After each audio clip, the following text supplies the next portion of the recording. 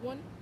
So my Shakespeare 400 geek out moment uh, is thinking back to I had already discovered Shakespeare and was participating in a Shakespeare camp at the Shakespeare Theater Company in DC. Um, and my beloved teacher, Dan Crane, was talking about the use of iambic pentameter in Shakespeare's language and how it could convey the feelings of a character. For example, uh, Hamlet, he's trying to use iambic pentameter, but he's just one syllable off. Uh, to be or not to be, that is the question. He's so close to it, but there's something that's in his way, and that could be uh, the emotional turmoil from uh, his dad's death and then his mom's remarriage to his uncle.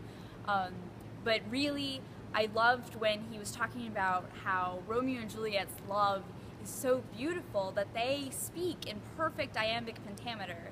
And he began reciting, But soft with light through yonder window breaks, it is the east and Juliet is the sun. And as he was saying this, I was completely swept away by the language. There was nothing there but his voice and those words. And that was when I really realized that uh, Shakespeare was something important and magical in my life.